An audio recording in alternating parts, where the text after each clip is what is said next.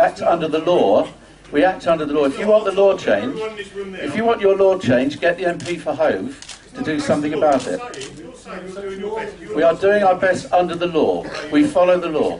because there aren't enough authorised sites for them, travellers have, have less choice than they should have about where they go. But what they do have a choice about is how they behave, how they behave when they get there. Just to be clear, uh, I probably didn't make it earlier. The uh, Caroline, Caroline and I don't agree with the Horsdean site. I don't think it's necessary. I don't think Brighton and Hove should have one. And that site has, has been vandalised several times. It's taken over a year to put right because they've actually vandalised their own toilet blocks over there. I have to say this to the Green Member of Parliament and the Green Leader of the Council and other Greens here. I always thought that you were in favour of national parks. What can be greener than a national park?